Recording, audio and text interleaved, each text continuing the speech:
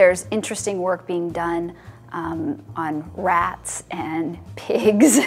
um, and I think um, what, we, what we really need to understand better is this intersection between estrogen and stroke.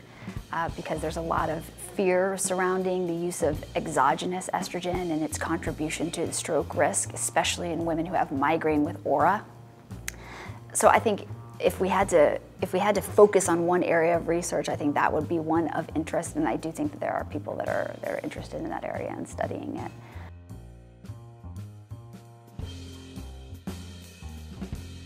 If doctors are more aware of the subtypes of migraine, then they might be able to help their patients plan and treat more efficiently. For example, if a patient is only having menstrually related migraine, then they may not need to go on Topamax, which is a medication that can be very beneficial for headaches but can have some side effects.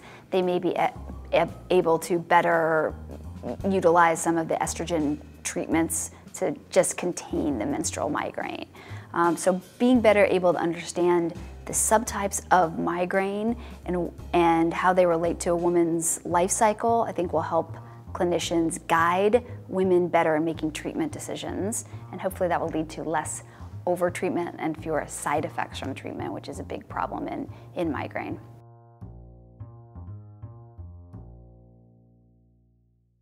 Well, menopause is very rocky, unfortunately, because what happens perimenopausally is that there's a lot of um, unpredictable changes in estrogen levels. And this is a, a very sparsely studied area. But um, women oftentimes will, come, will see an increase in headaches around perimenopause. And that we suspect is due to changes in estrogen. And then after they get through menopause, it seems like the headaches settle down, but getting through menopause is not like a one day ordeal. It often can take several years, and so that can be a very rough time for, for women.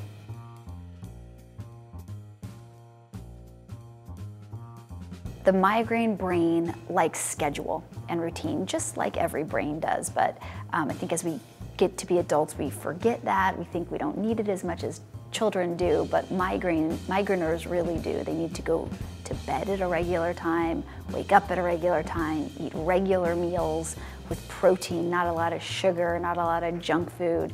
Um, and they need to get regular exercise.